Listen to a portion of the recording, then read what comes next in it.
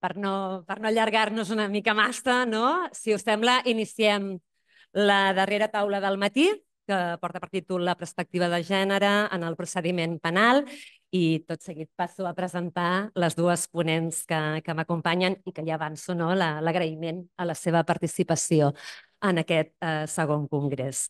Um, a la meva dreta, uh, Sabela Ubinya Boruella, molt bon dia. És doctora en dret processal i professora contractada de la Universitat Autònoma de Madrid des de l'any 2015, amb anterioritat del 2001 al 2014. La seva carrera docent i investigadora va estar lligada a la Universitat Carlos III de Madrid és doctora en dret processal per la Universitat Carlos III de Madrid des de l'any 2008 i la seva tesi sobre el funcionament del Tribunal Constitucional espanyol va rebre el Premi a la millor tesi en dret i en ciència social de la Reial Acadèmia de Doctors i Doctores d'Espanya i el Premi Extraordinari de Doctorat a la Universitat Carlos III.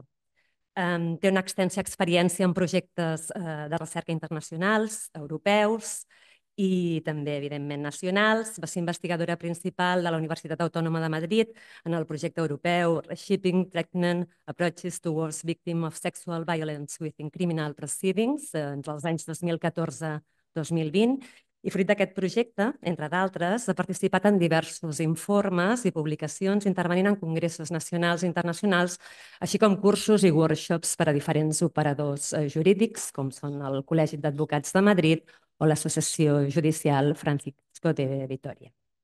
Ah, ara passarem també a presentar a Carla Vall i Duran. Ella és advocada especialitzada en violències masclistes. Des de l'any 2011, que es va llicenciar en dret en la Universitat Pompeu Fabra, s'ha dedicat de manera continuada a formar-se com a advocada i criminòloga. També és graduada en criminologia per la Universitat Oberta de Catalunya. És experta en dret penal i gènere. Durant aquest temps eh, s'ha dedicat a formar professionals aquí a la casa, al PECFE, a l'Observatori Català de Justícia amb Violència Masclista, a l'Institut de Seguretat Pública de Catalunya, a l'Institut Català de les Dones o a l'Institut Canari per la Igualtat, eh, entre d'altres. Eh, assessora a institucions públiques i organismes a nivell estatal, autonòmic i local i des de l'any 2022 coordina, juntament amb la psicòloga Aina Trocoso Reverter, el Departament contra els Abusos de l'Acadèmia del Cinema Català. És autora de diversos llibres, A la foguera, No mentiràs i Trenqueu en cas d'emergència, manual per víctimes i supervivents de violències masclistes i el novembre de l'any 22 va rebre el Premi Menines en la categoria de Justícia Feminista atorgat pel Ministeri d'Igualtat del Govern d'Espanya.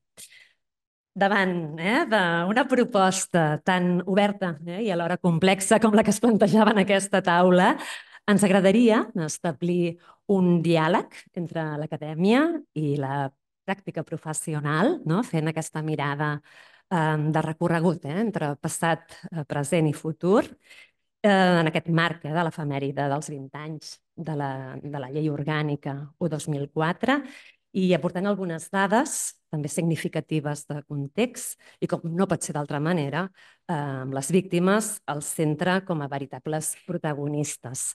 Eh, sense més dilació, dono la paraula a Sadela. La presentación.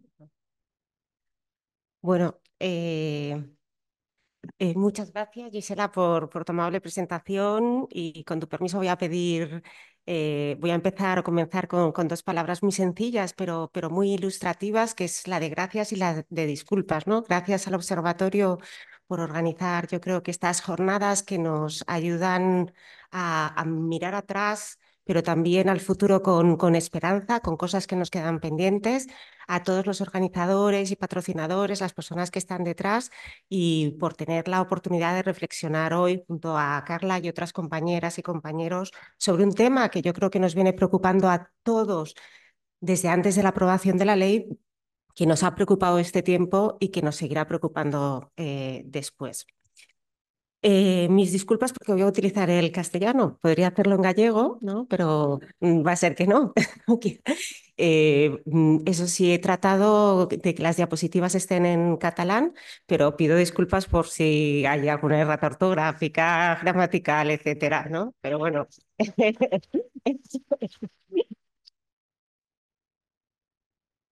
En, esta breve eh, intervención quería ofrecer un, pequeño balance de, la norma, ¿no? Eh, de la que celebramos el vigésimo aniversario, deteniéndome en, cuatro puntos y tratando de hilar todos ellos. Muchos o varios eh, de ellos han salido en unas y otras ponencias a lo largo de, la mañana. En primer lugar, sobre el tema del concepto y de la especialización judicial en el caso de los juzgados de violencia sobre la mujer también sobre la formación, especialización o la ausencia de ella de los profesionales que, del, del sistema judicial, muy especialmente de la Judicatura y del Ministerio Fiscal. Luego mm, trataré de poner en valor, después de la crítica esa formación, un poco del, del, eh, de los avances, que yo creo que también es justo reconocerlos, de alguna jurisprudencia que ha ido sentando las bases eh, sobre cuestiones importantes a la hora de valorar la declaración de, la víctima y luego eh, algún pequeño apunte sobre la indemnización a las víctimas y concretamente sobre la falta de efectividad de esa indemnización en concreto en víctimas de violencia sexual. Em, yo creo que hacer un balance conlleva, bueno, pues hablar de luces y de sombras, de avances y de cosas, de muchas cosas que nos quedan pendientes. Pero, pero también hay que hacerlo sabiendo, creo que decía María esta mañana, ¿no?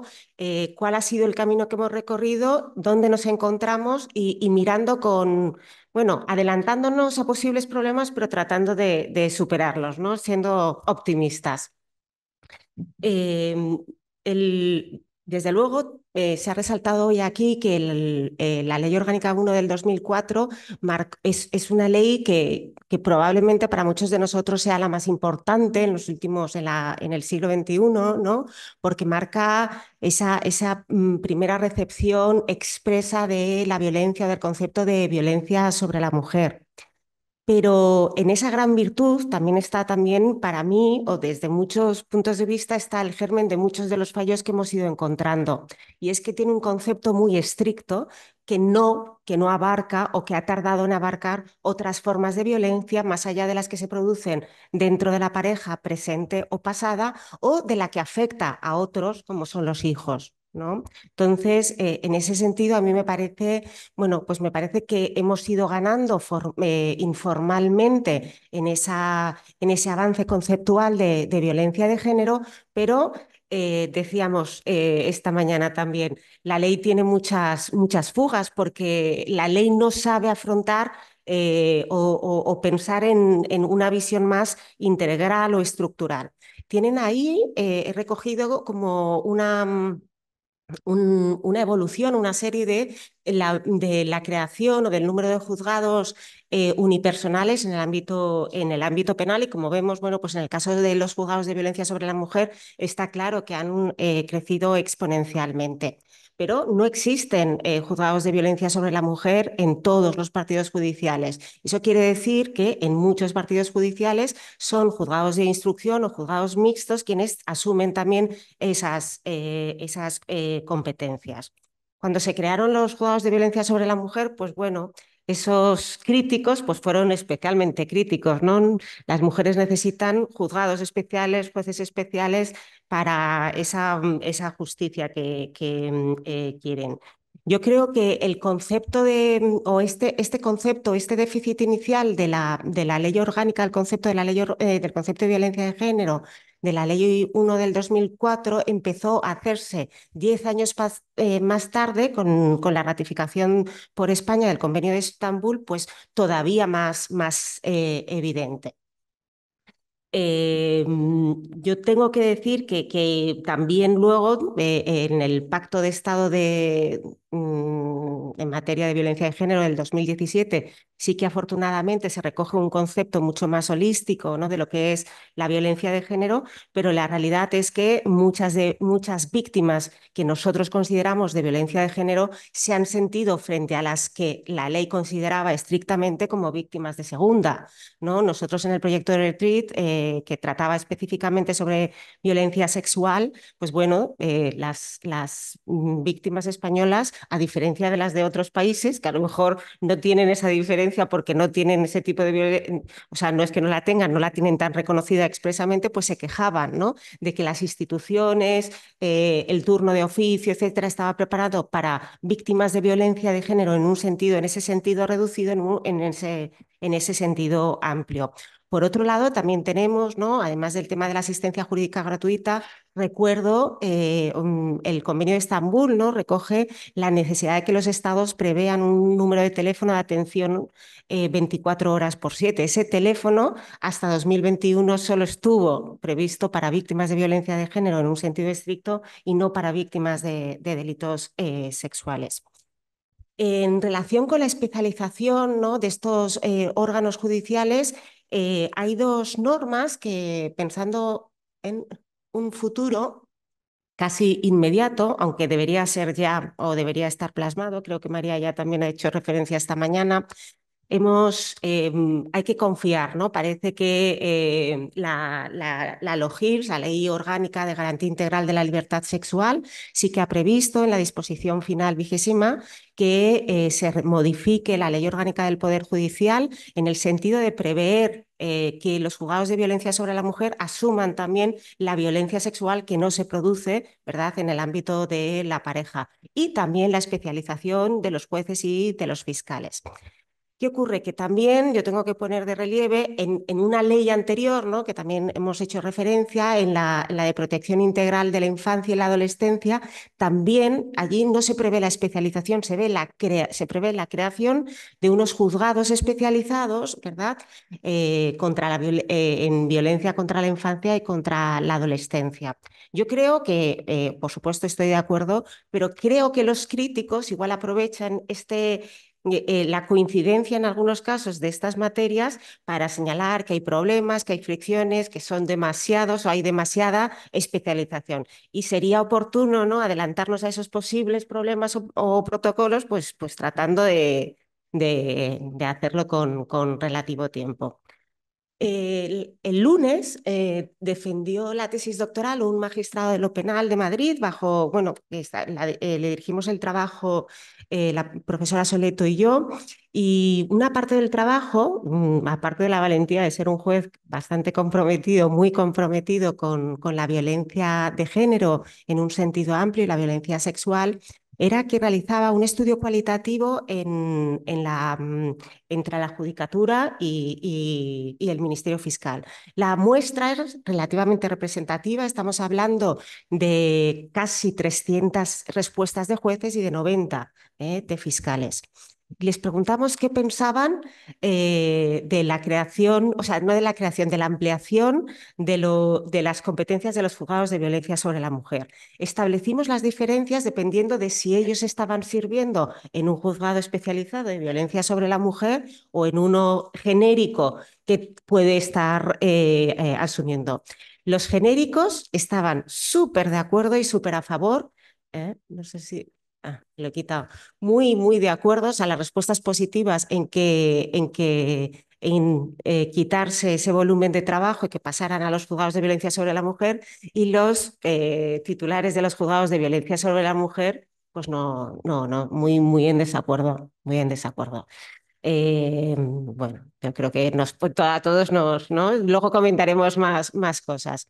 Luego, y aquí voy a, voy a discrepar un poco eh, con algunas de las manifestaciones, no tanto con las manifestaciones, porque yo creo que, en el papel está bien, es verdad que la formación de los, eh, se ha tratado de que la formación de los jueces y se modificó en el año 2018 la Ley Orgánica del Poder Judicial para prever un curso de formación obligatoria. Ese curso de formación obligatoria para los especialistas, hemos, hemos, para quienes vayan a optar a una especialización dentro de la planta judicial, que no tenemos tantos, tantas especialidades, eso va de suyo, eh, tiene, primero se realiza online, es lo primero que te dice, ¿no? Y bueno, es verdad que ahorra costes, pero no es lo mismo, ¿verdad? Que no es lo mismo que también estemos hoy comentando estas cosas, ni yo con mis estudiantes en clase. Pues no, no, no es lo mismo, porque además es algo que tienes que asimilar, de lo que te tienes que imbuir, de lo que tienes que ir aprendiendo poco a poco, ir, de lo que te tienes que ir formando. No es una cosa porque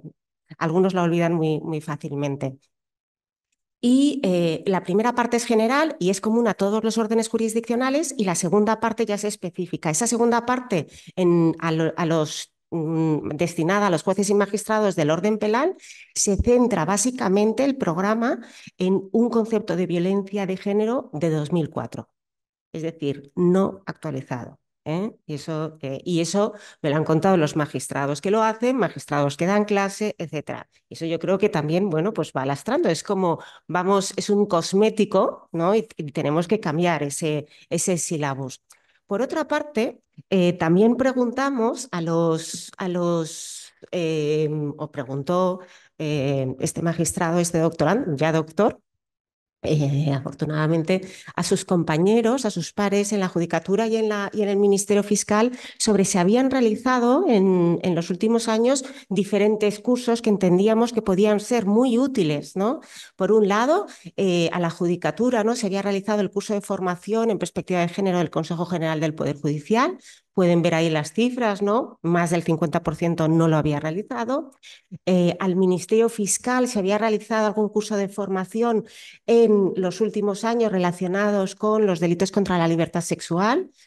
Eh, en un 84% no, no habían realizado ningún tipo de curso en este sentido a la judicatura le preguntamos si había, si había, realizado algún curso relacionado con la protección de víctimas en un sentido más genérico mm, en el proceso penal y más del 60% nos dijeron que no.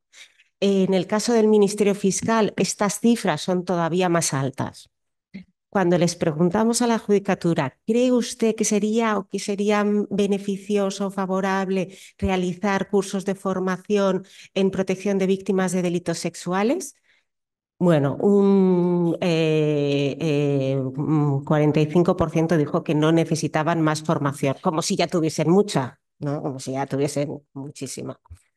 Eh, mm, yo, mm, bueno, me voy a reservar, eh, si, no para los comentarios, algunos de los datos.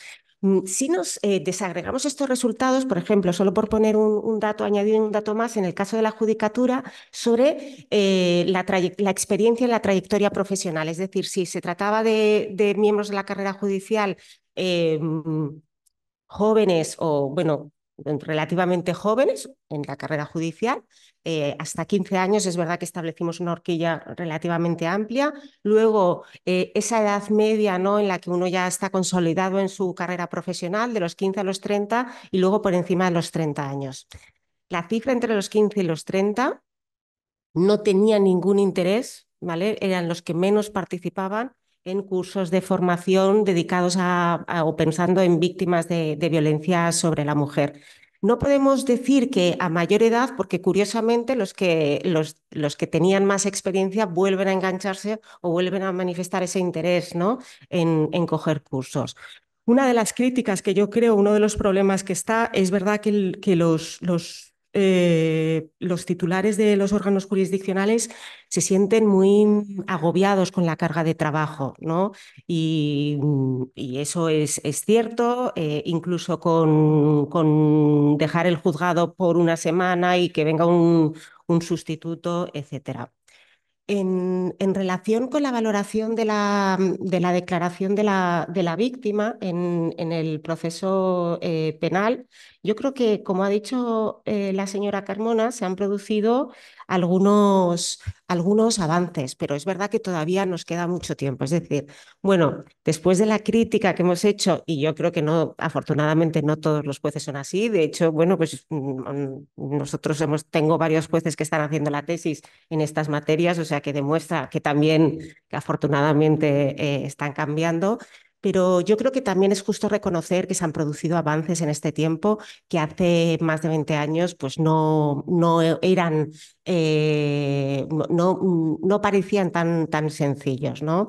Yo creo que el, Tribunal Supremo ha incidido en cosas importantes como, por ejemplo, que el retraso en la denuncia en delitos de violencia sobre la mujer, en violencia sexual, no puede ser una merma o, no puede ser un factor que disminuya la credibilidad de la víctima, que es una, un estadio normal frente eh, al temor de sufrir nuevos ataques o incluso a que te maten. Eh, por tanto, no es un elemento eh, negativo. También, y por no, por no detenerme en otras cosas, en otros datos o en, otra, en otra, jurisprudencia que es importante, pero yo creo que todos conocemos eh, mejor, como la declaración del, de la víctima como testigo único, yo creo que el Tribunal Supremo en algunas, en algunas sentencias también ha hablado de que eh, la relación o el resquemor, la enemistad que una víctima tenga eh, o, que una víctima o, esa, o que quiera eh, que tenga o que la defensa del acusado quiera poner de relieve, no puede tampoco restar credibilidad. Y eso porque eh, también en muchos casos se ha dicho ¿no? que la riqueza del detalle en ese relato parece que carga, ¿no? Parece que, que a cuanto, o cuanto más detallada o más grave es la, la, mm, eh, la agresión o el tipo de agresión, eh, más posibilidades de mentir tiene uno, ¿no? Y, bueno, esto perjudica gravemente a, la víctima, además de no tener ninguna, ninguna base. Y hay otro, otro aspecto que también me parecía bastante importante y con, en el que no, no, se ha hecho, no se hace tanta referencia, yo creo que ha salido antes también. El, em, el Tribunal Supremo se ha pronunciado colateralmente sobre el efecto positivo y negativo que puede tener la resiliencia ¿no? En el sentido de a la hora de valorarlo, ¿no? Y en el sentido de que no puede afectar, no puede influir en esa valoración en el sentido de que esa capacidad de superar situaciones adversas, que puede ser muy positiva en algunos casos, también puede ser un elemento negativo en el sentido de que eh, quien está percibiendo ya de valorar ese testimonio entienda eh, que, que, una vez superado, que, eh, que se ha superado, que no corresponde con la gravedad de los hechos o que el daño que ha sufrido la víctima puede haber sido eh, menor o no tan grave como parece manifestar pues, el Ministerio Fiscal o la acusación particular. Hay una sentencia o varias sentencias que hablan también de los presupuestos del análisis de la valoración eh, mm, eh, de la declaración de la víctima. Hay una ¿no? que, se ha ido repitiendo eh, que habla sobre 11 criterios, 11 ítems que se pueden tener en cuenta y que pueden influir. A mí esa sentencia me da un poquito de miedo, eh, porque esto de lo de los listados, ¿no? Eh, es que mm, además el magistrado ponente es bueno, muy dado para eso, ¿no? Y vamos tachando. Y ojo, que es que la judica, o sea, que es que tenemos que entender que parece como que tenemos que ir haciendo un clic, clic, clic. No, es una valoración genérica, etcétera. En esa sentencia también se pone de relieve, en cambio, otros aspectos que son, si cabe, más importantes. Eh, mm, se advierte que eh, la situación de una víctima de violencia de género o de agresión sexual eh, en el ámbito de la familia o en cualquier otro puede tener, ¿verdad? O puede mostrar dificultades para expresar, ¿vale? Delante del tribunal el relato de los hechos. Puede tener miedo a la al agresor, a la familia, puede em, sufrir presiones tanto mm, mm, de su entorno más próximo o de o ex o ad extra, ¿no? Incluso de, medio, de medios de comunicación. Eh, mm, puede querer eh, tratar de olvidar, incluso muchas veces los fiscales te cuentan a veces ¿no? que eh, las víctimas eh, te cuentan con todo lujo de detalles lo que pasa antes y lo que pasa después, pero tratan de pasar corriendo como si no hubiese, o sea, muy rápido por lo que constituyen los hechos, ¿no? En ese, en ese caso. Y bueno, yo creo que, eso es importante. Y para terminar, una reflexión sobre la indemnización a las víctimas de eh, violencia sexual.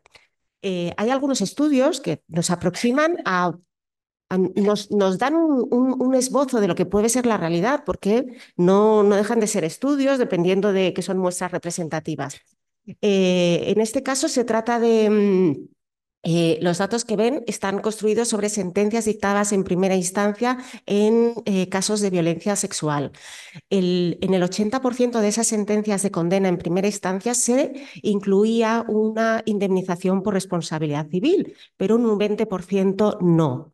Eso eh, significa o parece indicar, y yo creo que todos lo sabemos, o que la víctima renuncia y se ha puesto de relieve en varias ocasiones ya por la literatura en los últimos años, y es que eh, eh, abogados de, la, de, la, de la víctima eh, entienden que, no, es mejor no reclamar nada precisamente para, como si superara el, eh, la credibilidad o fuese creciendo la credibilidad del testimonio de la, de la víctima, o, eh, y renuncian directamente para que no se las tache de que buscan dinero o cualquier otra cosa o que tienen, bueno, algún otro interés horrible. Eh, o, que lo, o, que lo, haga simplemente el, Ministerio Fiscal. Tenemos ahí unas, una, una, media ¿no? de las cifras eh, mm, de algunos de los casos, además son, como ven, bueno, pues bastantes casos. Está hecho antes de la reforma del Código Penal, por eso está la diferencia entre el abuso y, y la agresión. Pero yo creo que una de las cosas que falla más, en, o que a mí me preocupa, yo creo que seguro que... Mm, eh, mm, seguro que mi compañera va a hacer eh, eh, referencia a ello, no es, tan, no es, tanto que también el, eh, el, que las cantidades concretas no se correspondan con los daños sufridos, sino, y esto sí que es violencia institucional, con la inefectividad del sistema de ejecución de la responsabilidad civil dentro del proceso penal.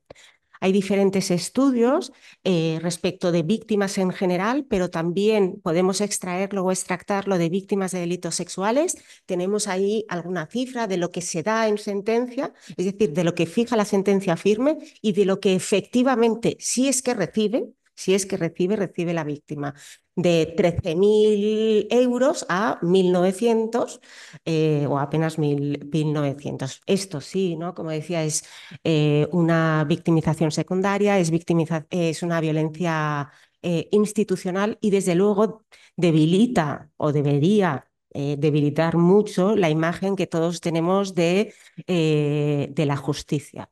¿no?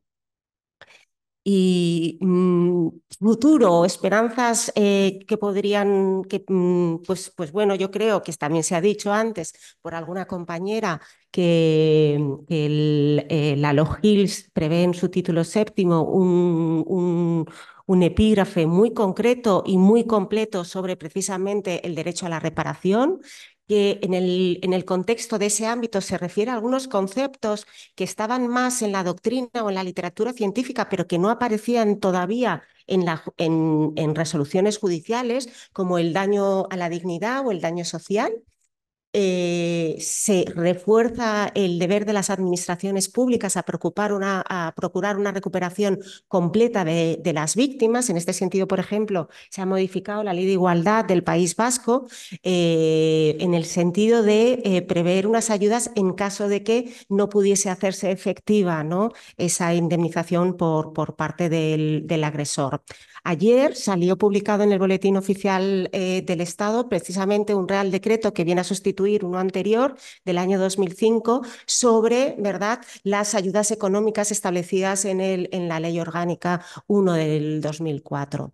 Muy importante de, de la LOGILS es el concepto de compatibilidad de todas estas ayudas. Yo creo que eso puede acercarnos a esa reparación más completa o integral. Y quizás pendiente, eh, o que nos quedaría pendiente y que parece al menos volcado en una idea, es el que en algún momento el Estado pueda adelantar esas cantidades, como ocurre, por ejemplo, en los Países Bajos, ¿no? Y así se ha previsto una, bueno, en la propuesta de modificación de la Directiva de Derechos de las Víctimas, bueno, pues sí se ha, hay un apunte, no, no sabemos si, si va a salir adelante. Muchísimas gràcies. Doncs molt bé, moltíssimes gràcies eh, a l'Observatori i al, al centre, que és com, com tornar a casa, eh, ho deia abans la Gisela, doncs que per mi és una mica eh, tornar als orígens. Eh, també moltíssimes gràcies, Gisela, doncs, per la preparació d'aquesta taula i la Sabela per la magnífica explicació, que l'he gaudida molt. I gràcies a tothom per ser aquí també procuraré ser bé, anar una mica al gra, perquè m'ha enganxat l'hora difícil ja en què crec que l'estómac ens comença a cridar. Eh, volia recapitular una mica, no? ens toca aquesta, aquesta taula que és tan absolutament oberta, no? que és per parlar de perspectiva de gènere en el procés penal, i volia reflexionar, no? fent una mica de genealogia feminista precisament, no? en quin escenari es comença a vertebrar aquesta llei no? i se'n feia inevitable, sense entrar ni massa, tenir un recordatori per Ana Orantes. No? i a totes aquestes reflexions que generen en els moviments feministes, en l'activisme, no? i que acaben impregnant el món del dret i que fan que, que es transformi la societat. La posició per la qual opto és, eh, com a titular, eh, té aquesta idea d'aposta per criticar i defensar la llei, no? Aquesta idea no és meva, me la va dir fa molts anys una companya també jurista, la Bàrbara Tardón, i penso que ens és imprescindible, no? en el sentit de, durant molt de temps hem vist que se li han encomanat moltíssimes motivacions a aquesta llei, no? d'acabar pràcticament amb els delictes en clau de gènere, eh, que la persecució sigui total i absoluta, cosa que no passa en qualsevol altre tipus delictiu, no? i que sabem que això és absolutament impossible. No? Les funcions de la llei són múltiples, que per això és una llei integral, però centrant-nos eh, estrictament en el, en el procés penal, penso que quan parlem d'aquesta perspectiva feminista, el gran titular ha de ser que entenguem que estem parlant de posar la ciència dins del procés. Perquè normalment ens trobem no? com si estiguéssim actuant com un factor corrector i penso que això és un error molt important. No? Eh, sembla que el masclisme, no? o sigui, que el contrari, la no perspectiva de gènere sigui, no sé, tan natural com el cicle de l'aigua, i que en canvi quan nosaltres volem introduir conceptes tinguem la sensació que en cada procés penal que s'inicia estiguem començant de zero. Jo crec que no hi ha ni una sola jurista ocupi la posició que ocupi dins del procés que no li agradés presentar com un document número zero per dir anem a parlar d'això, del que sabem, no? I en aquest sentit penso que li hem de donar una volta també a què és el que entenem per formació. Ha sortit ja amb anterioritat no? a les taules de les anteriors companyes i penso que precisament és molt interessant doncs, perquè heu parlat psicòlogues, no? que jo crec que ens heu ajudat moltíssim a, a poder comprendre la dimensió no? de la teoria del trauma, que em sembla fascinant i que ens ajuda a repensar, jo crec que de manera gairebé anual o potser cada sis mesos, no? a tenir nova informació per poder-la introduir en els processos i que, a més a més, ens ensenya a ser molt humils no? Abans eh, la Sabela deia els jutges més grans tenen tendència a reenganxar-se no? perquè se n'adonen doncs, que precisament el que hem après en un cert moment està absolutament caducat. I penso que en aquest sentit doncs, eh, ens podem ajudar no? eh, a poder comprendre. Però sí que és veritat que penso que ens n'adonarem molt senzillament que si mirem qualsevol instrument legislatiu moltes vegades apareix la paraula sensibilització pels professionals. Jo penso que aquest és un dels primers grans errors. Els professionals no ens hem de sensibilitzar, els professionals els hem de capacitar. Una vegada una de les especialistes de l'Hospital Clínic de Barcelona, la Dolors Rodríguez, em va dir una frase que em va quedar gravada, que em va dir és que hauríem de tenir en compte que si no som capaços de detectar la violència, seria exactament el mateix que si no puc detectar un atac de cor. Ens hauria de provocar la mateixa reacció la falta de comprensió del fenomen per no, per no entendre què és, què és el que està passant amb, amb les víctimes. Aterrant en això, en aquesta capacitació professional, penso que és molt necessari alguns dels projectes que ja s'estan portant a terme doncs, aquí a casa nostra per entendre que la formació ha de ser multidisciplinar, perquè si la fem de manera segmentada és impossible que acabem obtenint tota la informació. Primer de tot, perquè cada professional que aterra el procés, el que li passa és que veu el món només des de la seva única visió. I crec que és molt important que les juristes també desenvolupem una empatia professional. Potser s'hauria d'encunyar un terme millor que no pas aquest, però crec que ens ajuda a poder comprendre què és el que està passant íntimament aquella dona que estem atenent per saber a quins reptes personals fora del jutjat s'ha d'enfrontar per poder subsistir. No? I en aquest sentit, eh, crec que tenim un gran dèficit a l'hora d'aprendre a mirar, aprendre a preguntar, aprendre a escoltar. Jo me'n recordo no, en una d'aquestes múltiples formacions que hem fet, no, que els deia a les meves alumnes, vosaltres us heu preguntat mai com es mira una víctima d'una violació? Us heu preguntat mai com es mira a una supervivent d'una temptativa d'homicidi? Us heu preguntat mai què és el que espereu que us digui? I clar, aquí tenim un problema perquè és que tenim la idea de víctima model que 20 anys després jo crec que segueix planant. De fet, jo penso que aquí hi ha d'haver un gest d'honestedat no? en, en la pròpia advocacia perquè d'alguna manera intentem fer-les encabir també aquí, perquè sabem que serà ben llegit i que serà mal llegit. Quina informació pot semblar contradictòria, tot i que té una coherència absoluta, no? Eh, què passa amb aquestes llacunes en el relat de les víctimes que són més veritat. No és que s'estigui inventant la història sobre la marxa, sinó que precisament doncs, arrel de la violència doncs, eh, li falta aquesta informació. I a més a més, eh, penso que és molt interessant doncs, eh, aquest estudi que, que presentava la Sabela, no? perquè si veiem com transiten, amb quines expectatives transiten les víctimes als processos judicials, ens n'adonem que al final del camí hi ha moltes coses que queden apartades, no? I perquè segurament el dret penal no té la capacitat de fer amb elles el que moltes demanen, no? De, si és que no vull que vagi a la presó, jo l'únic que vull és que torni a ser del principi. I crec que aquí ens falten moltes eines per poder-les acompanyar a entendre que aquell home del principi no ha existit mai, no? que allò era un miratge i que el que pot fer el sistema de justícia és una cosa super diferent per elles i per, per les seves criatures. No? Volia aprofitar també, ara que estem aquí moltes professionals, eh, per entrar en el tema de la intel·ligència artificial, que sé que molta gent li fa por, però penso que ens pot donar grans avantatges. Tenim ja algunes bases de dades que ens parlen dels biaixos que hi ha als jutjats. És a dir, durant molts anys, jo crec que, per exemple, en l'àmbit social hem sentit aquest jutjat és pro-empresa, aquest jutjat és pro-treballador. Doncs ara la intel·ligència artificial també ens dibuixa si aquest jutjat és pro-víctimes o no. I pro-víctimes no em refereixo a si hi ha més condemnes o hi ha més ordres. Em refereixo també a les maneres en què es condemna o s'absol, que crec que això és molt important, no? Que fins i tot eh, quan es plantegen defenses tècniques dures, siguin processos que no siguin destinats a destruir moralment les víctimes, sinó que siguin processos que, que busquen no? o intenten arribar a la veritat material dels fets. I també perquè trobem coses, no? si vosaltres feu aquesta prova, de qualsevol base de dades que està utilitzant intel·ligència artificial, podem trobar coses com la suposta víctima, no? De, o sigui, des del primer moment ja s'està qüestionant, no? I són coses que, per exemple, en altres tipus de processos, no? a instrucció, no trobem la suposta víctima d'un robo. Vull dir que aquí veiem un, clar, un claríssim viatge en la utilització del llenguatge i veiem també en les absolucions quins són els imaginaris que apareixen. I aquí podem fer una classificació de quin és l'imaginari que es troba present en el jutjat, que al final no és que siguin massa creatius, no? Vull dir, és com eh, fer entrar com les respostes clàssiques. I en aquest sentit torno a la idea de, de la formació com a capacitació, perquè la pregunta real que ens hem de fer amb tot això és com es supleix la falta de formació? Com es reomple el que no sabem tècnicament?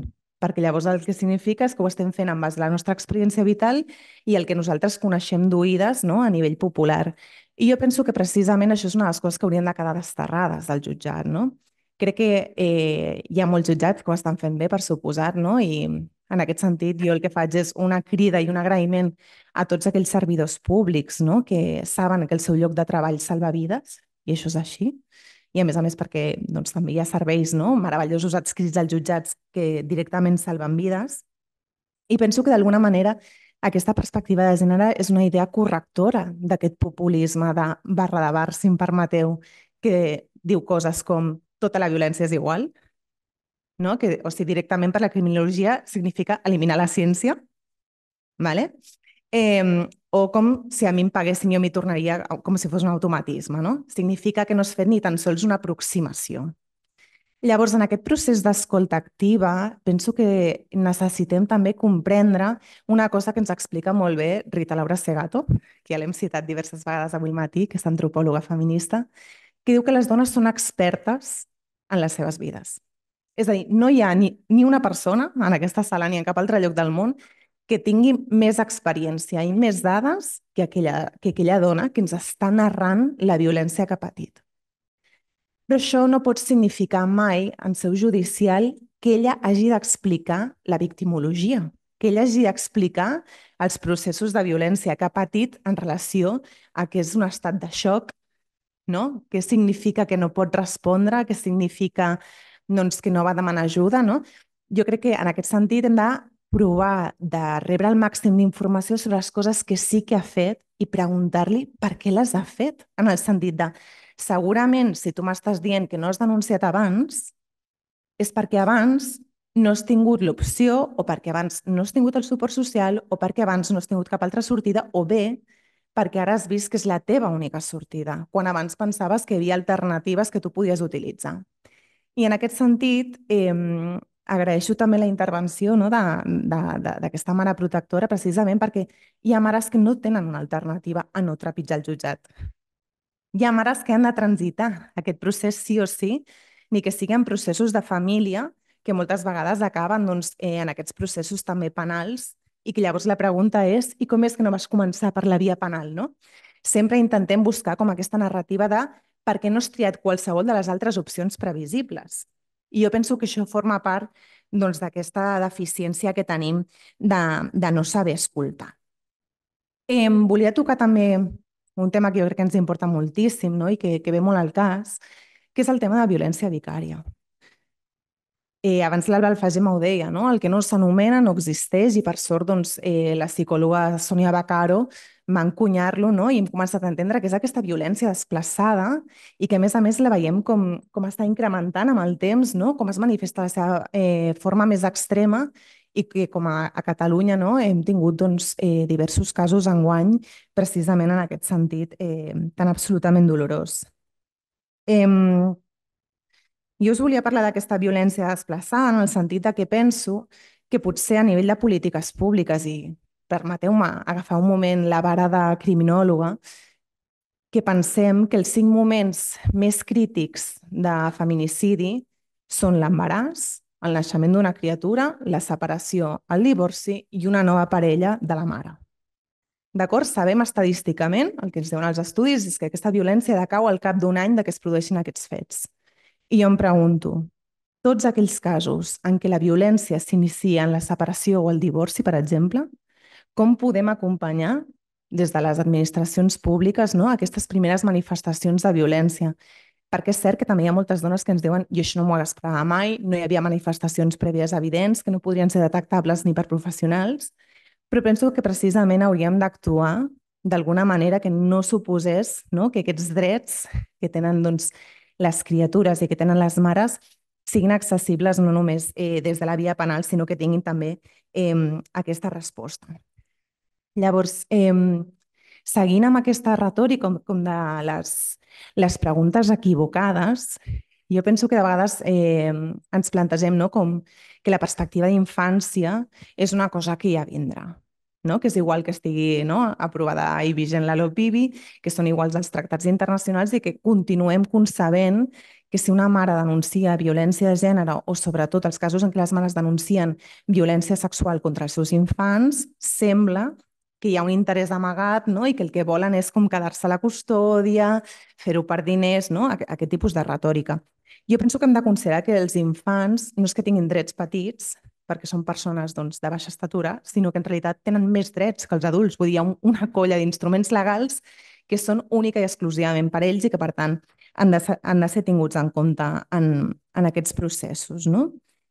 I us volia citar també, eh, dins d'aquesta idea de com introduir els coneixements dins del procés eh, penal, un, un llibre que el trobareu des, descatalogat a internet, però molt, molt fàcilment accessible en PDF, que és de la Judith Herman, una psicòloga especialista eh, en violències sexuals, que té un llibre que es diu Trauma i recuperació, que el que diu ella és... El llibre és dels 90, eh? Perdó. Diu, mireu, els agressors el que fan és esperar el silenci de les seves víctimes, en primer lloc. Si els agressors no aconsegueixen el silenci de la víctima, en segon lloc, esperen demostrar que és una mentidera. I si no aconsegueixen demostrar que és una mentidera, intenten demostrar que ells són les víctimes perquè veieu que hem innovat prou, poc a nivell d'excuses, de, no? de perquè els agressors agradeixen i de com es tracten les víctimes, i perquè en els últims temps també em preocupa eh, aquesta com col·laboració dels mitjans de comunicació en aquesta retòrica de ells són les víctimes. No? Ho haurien, doncs, eh, segurament, no? en algunes entrevistes d'agressors condemnats, no? amb titulars que són espantosos, no? dient que jo l'autor dels fets perdonava la víctima, etc etc. I en aquest sentit, obro un altre capítol, em queden pocs minuts, crec, que és el fet de tota la informació que perdem amb les diligències de caràcter escrit, de les quals no tenim suport audiovisual i que aquí hi ha una desigualtat molt gran arreu del país eh, i que van des de la denúncia policial eh, fins tot allò que tramitem a nivell judicial, no? Eh, les expertes en comunicació no verbal ens diuen que el missatge verbal, el contingut, és un 7% i que la resta és un 93%.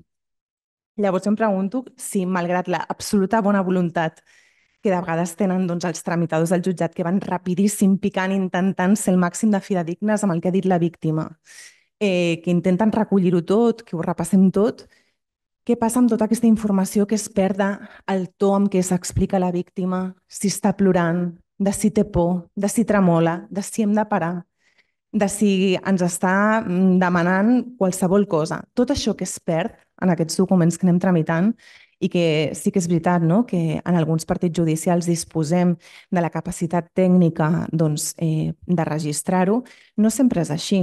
A més a més, hem de tenir en compte que, per exemple, algunes d'aquestes eh, comunicacions són tan importants com celebrar una vista de mesures eh, que Fiscalia no es trobi present, malgrat tu hagis mm, protestat de totes les maneres possibles, i que se li enviï la declaració per mail o per fax, que no sé com, però encara existeixen, eh, i que llavors esperin una resposta al fiscal, no? com esperant que és el que, la, la mesura que s'ha de prendre. No? Jo penso que això és una, una deficiència greu del sistema i que s'allunya molt del concepte de la diligència deguda. Jo sé que tothom amb els mitjans que té fa el que pot, però això significa també una desigualtat molt important no? a l'hora de, de rebre una resposta del sistema penal, eh, ja, ja m'aturen, eh, del sistema penal no? eh, en relació a la violència i les expectatives de recuperació. Llavors, eh, Volia tocar també el, el, el tema de, de la violència institucional no? i com voler-la diferenciar de, del que és eh, la revictimització. Les víctimes inevitablement els demanem que tornin a passar per la victimització quan ens han d'explicar, però la violència institucional sí que és evitable.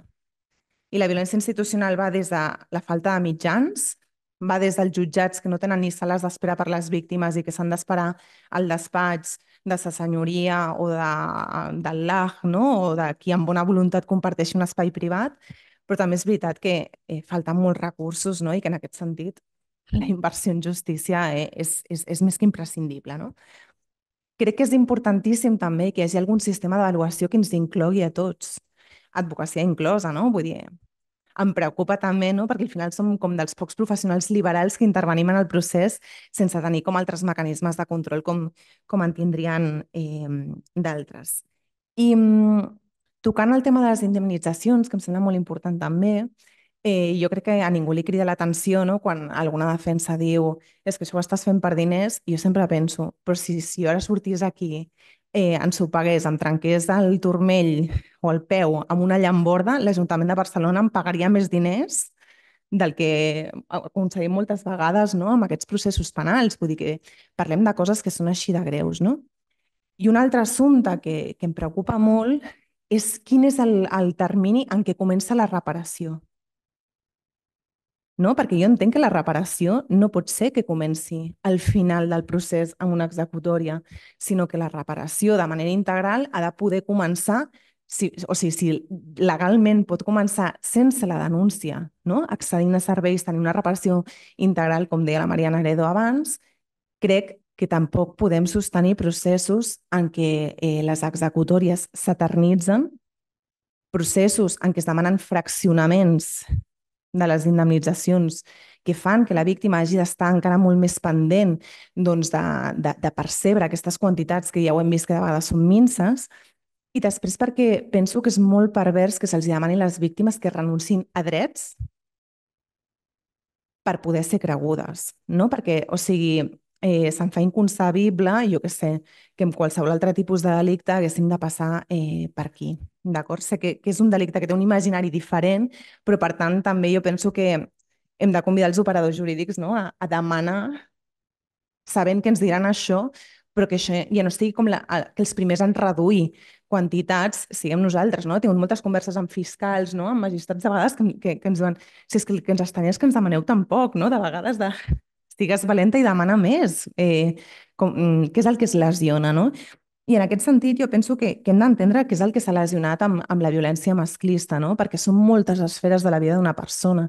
Això va des de la seva part emocional, des de la seva part relacional, des de la seva vida sexual, que no sé per què eh, l'excloem com si això no existís en la vida de les persones i em sembla eh, absolutament important. I com que em queda només un minut i, i vull cedir-vos la pilota per si abans de dinar doncs, teniu alguna qüestió, eh, a mi m'agrada pensar que les, les juristes joves tenim com tot el, el relleu de, que ens han passat les juristes doncs, eh, amb més anys d'experiència, no? eh, més grans que nosaltres, però també estic molt esperançada no? veient les meves alumnes de... Crec que el relleu que prendran serà per arribar molt més lluny, no? I si em permeteu, eh, com que penso que és molt important que el món del dret toqui altres esferes de la vida, voldria acabar amb un breu poema de la Rupi Kaur que diu alguna així com estic asseguda en la muntanya de sacrificis feta per moltes dones preguntant-me com fer més alta aquesta muntanya i que les que vinguin arribin més lluny. Gràcies.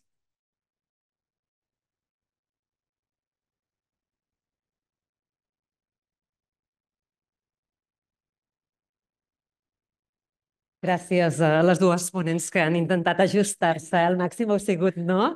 Molt, molt, molt allò, eh? Fil parlant heu seguit el temps. I si de cas passem aquests 10 minuts, no?, que tenim una mica justes. Ja. A veure... Hola, bon dia. Em dic Margarida Bonet i sóc professora titular de Dret Penal. I tinc tres qüestions eh, que em preocupen molt i que van molt enllaçades amb amb el que s'ha dit durant totes aquestes eh, reflexions, però sobretot les, les de la darrera taula. A mi em preocupa molt, sempre m'han preocupat molt, no? les, les coses que ens passen a les senyores, permeteu-me que sigui tan planera, eh, però, però clar, de retruc les coses que els hi passen als nens i a les nenes. No? I una de les coses que em preocupa molt, i vull saber la vostra opinió, eh, és eh, aquesta eh, corrent de separar, parlem de nens i nenes, es veu molt pròxim en el cas de la violència que pateix la dona i viuen els nens directament, però en el cas de quan els nens viuen violències directes, sobretot violències sexuals, eh, sabem que hi ha una corrent de pensament que entén que aquestes, eh, aquestes violències sexuals que pateixen els nens i nenes, sobretot el que s'anomena, jo crec que s'ha d'anomenar d'una altra manera, el que s'anomena, el que són les agressions habituals sobre nens i nenes, eh, no tenen res a veure, no tenen un factor de gènere. Jo voldria saber eh, voldria la vostra opinió al respecte perquè crec que és molt important per canviar, com deia la Carla, aquests paradigmes i per canviar també eh, les formacions dels, dels, dels jutges i jutgeses. Per què? Perquè, per exemple, quan fem estudis així només amb jurimetria de les decisions de, de les decisions del, del Tribunal Suprem sobre casos de violència sexual, veiem que eh, la violència sexual eh, sobre reiterada eh, sobre majors d'edat aplica d'una manera el delicte continuat i, en canvi, en la, la continuïtat delictiva i, en canvi, en els menors, primer ja no parlem d'agressions sexuals ni de violacions. Si us fixeu, el Codi Penal no parla de violacions de menors. O sigui, pel nostre Codi Penal, el, ah, el ten, els nens i nenes no són violats en aquest país. Vale? Això, aquesta és la meva primera uh, reflexió. Després hi ha una reflexió que té a veure amb una de les darreres parts, que és amb la reparació. La reparació i la responsabilitat civil, que són eh, que són conceptes que apareixen al llarg del sistema penal i del procés eh, de manera com indistinta i que potser les pràctiques els veieu més clars, però de, després es confonen, no? Pues caso Alves, hombre, pues que soltó pasta, pues ja reparó. Hombre, reparó, lo qual, lo que després li dedueixin de la indemnització. Tota reparació, crec que tenim un gran futur amb, el, amb aquest article crec que era el 14 de la, de la llei de, la llei de, mm, de lluita contra les violències sexuals, perdoneu que no me'n sàpiga el títol, um, que allí tenim un, una font de progrés per a les noves lluitadores, perquè jo ja estic molt vella, que és uh, la reparació, la reparació simbòlica. Què és això de que tota reparació és diners?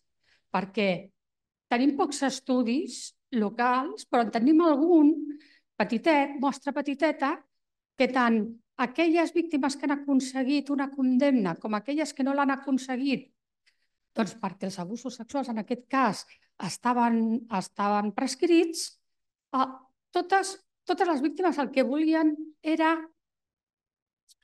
que l'autor, l'autor, que normalment és home, comprengués, comprengués el que havia fet, més enllà dels diners. Però això no ha de suposar que hagi de renunciar als diners, que poca, poques són les indemnitzacions que es demanen.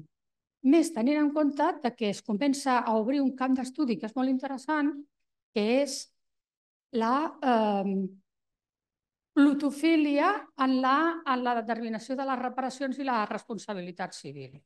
És a dir, que clar, la, qui pot assumir aquesta responsabilitat, no? Amb diners. I, i, i ja me puedes sacar el micro i l'últim que vull és... Perdoneu, eh? és que feia molt de venia. I l'últim que vull és donar-te les gràcies, Carla, per dir una cosa que, bueno, jo porto dient-la 300.000 anys, però com a mi no em fan cas, doncs digues-la tu, que tu sí que et faran cas, de ja basta de que s'han de sensibilitzar els jutges. Que punyetes, no ens hem de sensibilitzar. El que els, els operadors jurídics o les operadores jurídiques o els operadors jurídics el que hem de fer és actuar amb la diligència deguda. I aquesta diligència deguda passa per capacitar-nos i la capacitació passa pel, pel coneixement derivat de la ciència que existeix. I, deixem, i deixem-nos ja d'empaties i sensibilitats, perquè no es tracta d'empaties i sensibilitats, es tracta de ser diligents en les nostres respectives feines. I con esto acabo, perdoneu.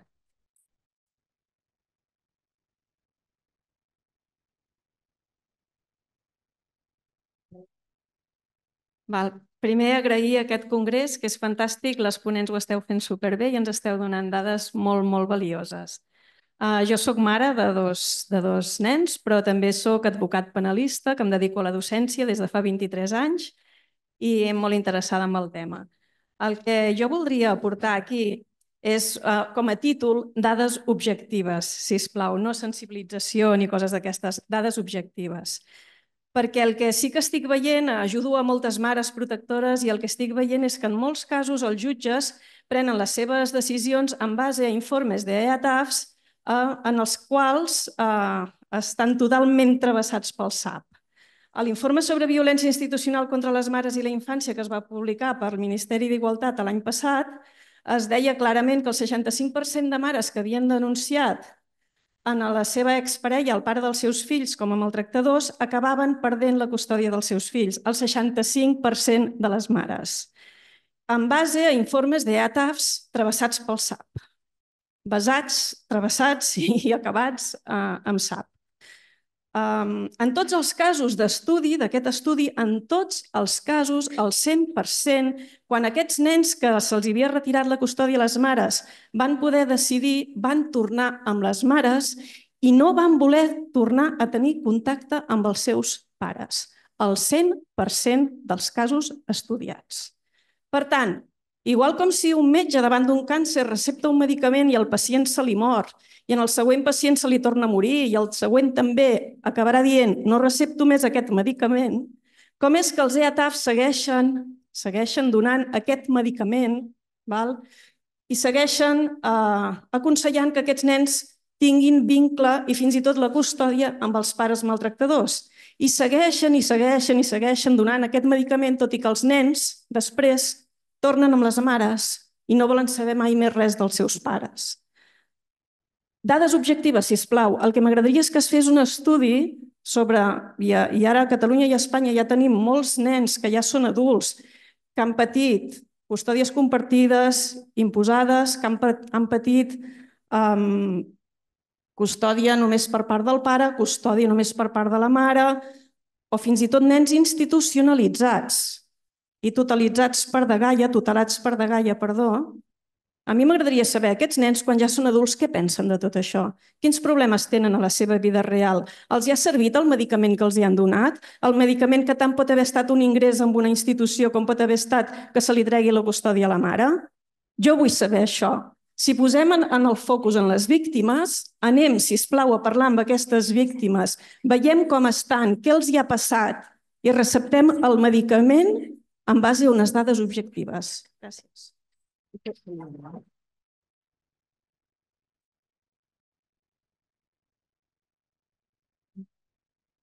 Eh, hola, jo també volia agrair a totes les, les ponents i a totes les participants que també han, han aportat a la jornada des del públic i també volia eh, fer extensible no, tota la reflexió que s'ha fet entorn la, la formació dels jutjats, bueno, de les jutgesses i dels jutges del torn, bueno, dels jutjats especialitzats en violències eh, contra la dona, en què està passant també en el torn d'ofici no? eh, d'aquests jutjats i, i jo crec no, que també la, la formació i la sensibilització eh, també hauríem de veure què, què està passant aquí. Eh, nosaltres ens hem trobat diferents casos no, de, per exemple, advocats eh, que estan al torn d'ofici defensant a, a dones que han viscut o que estan vivint violències masclistes, que fan comentaris negacionistes de la violència de gènere a les seves xarxes socials, que quan les dones denuncien això, per exemple, al Col·legi eh, d'Advocacia de Barcelona, consideren que no hi ha una infracció, o, per exemple, casos no, d'advocats que, que fan comentaris a, a les dones que estan atenent com bueno, seré tu abogado en estos próximos dos años. Si te vuelven a pegar una paliza, ja sabes a quién puedes llamar.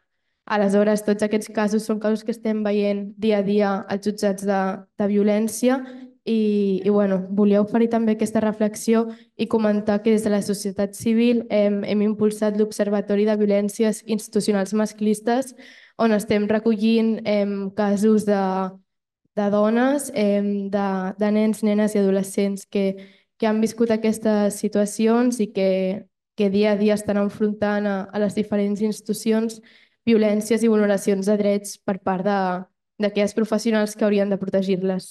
Gràcies.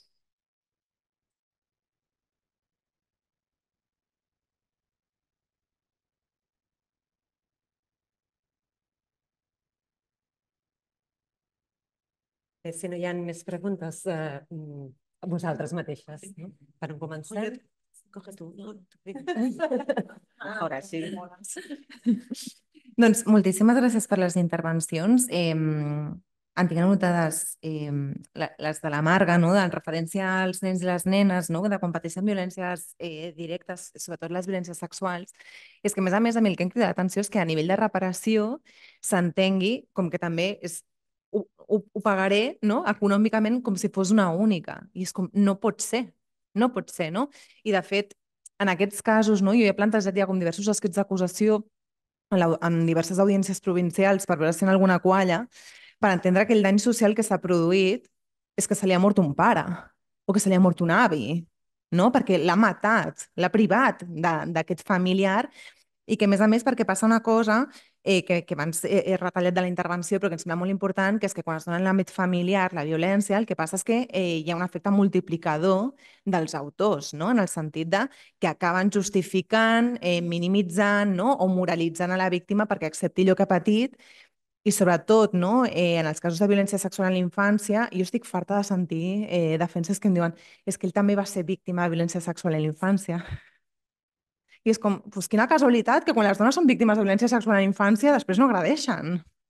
No? Vull dir que en aquest sentit està clar que la perspectiva de gènere s'hi ha d'aplicar. I que, a més a més, el que passa és que, vull dir, ho hem vist aquests dies amb el cas de l'Alice Munro, no? Vull dir, quan la família intenta solucionar la violència, jo en 13 anys no he vist ni un sol cas en què la família actui a la una per protegir l'infant. O sigui, no ho he vist mai.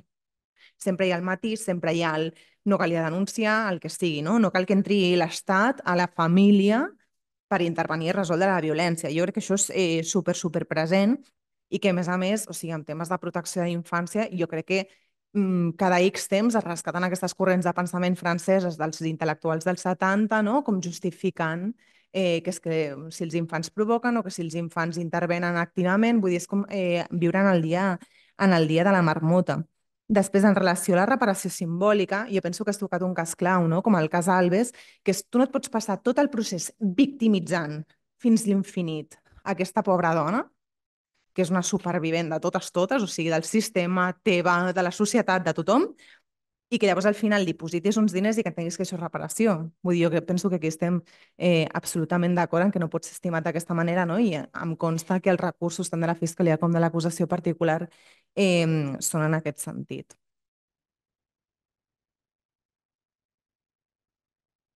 Mucho, mucho las preguntas. Eh, dos reflexiones en relación con, con, el tema de los delitos de violencia sexual contra, contra niños y, niñas.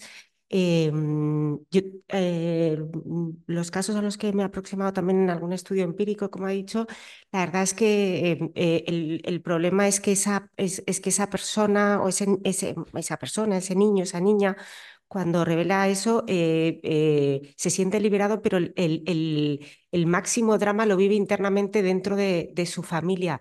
Y yo conozco muy pocos casos, muy pocos casos en los que la familia, eh, primero está la, la duda de la credibilidad, la, la, de hacerle responsable de cómo le vas a hacer esto a tu tío, a tu abuelo, eh, eh, te has confundido, eh, en fin, que es, es no sé, inenarrable, ¿no? Hacer, es muy, muy, muy duro. Eh, yo es, eh, creo que, por ejemplo, si, o, o, quiero pensar que, que, la formación en ese sentido, eh, cuando, se, cuando se creen, si es que se crean los juzgados contra la, violen, contra la violencia de la infancia y la adolescencia, pues haya, ¿no? Como, como van a ser o como va a haber una especialización, pues que haya también unos cursos propios en ese sentido. Yo creo que ahí nos pueden ayudar también mucho, bueno, pues todo el el ámbito de, de, la psicología, de la psicología del testimonio, a la hora no hay grandes profesionales, está Margarita Dijes, está Nieves Pérez Mata, hay un, montón de gente eh, en ese sentido.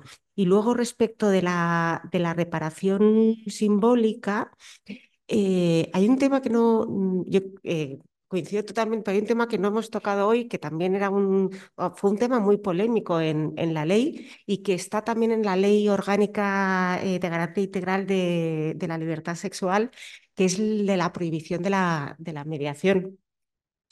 Eh, que, que, que, fue muy, muy, ¿no? O sea, ha, constituido, pero de si una, o sea, antes de que se regulara en España había una prohibición absoluta, si mm, puede hacerse generalizado a todos los casos.